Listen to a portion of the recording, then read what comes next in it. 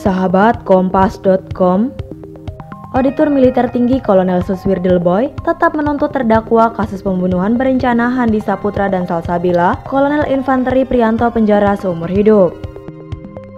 Auditor tetap teguh pada tuntutannya, kendati Prianto dalam pleidonya meminta majelis hakim membebaskan dari dakwaan.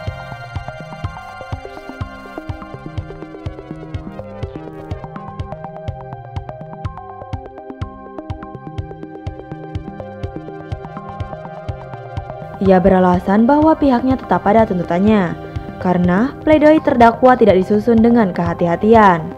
Sebab terdapat pernyataan dan kesimpulan yang tidak konsisten dalam pledoi yang disampaikan tim penasihat hukum. Menurut Wirdel, hal itu terlihat dari penolakan atas dua dari tiga dakwaan yang diajukan auditor militer tinggi ketika pledoi disampaikan pekan lalu di mana dua dakwaan yang ditolak Prianto yakni tentang pembunuhan berencana dan tentang penculikan.